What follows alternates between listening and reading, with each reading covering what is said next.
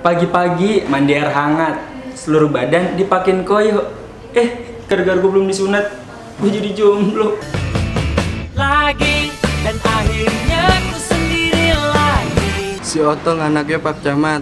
Pak Camat namanya Pak Aldo. Katanya laki-laki yang sudah disunat jauh lebih keren loh.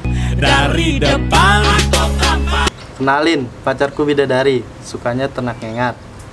Laki-laki pemberani, ya harus disunat. Setiap hari Senin upacara bendera dipimpin oleh Pak Rahmat. Habis ditolak calon mertua karena ketahuan belum disunat.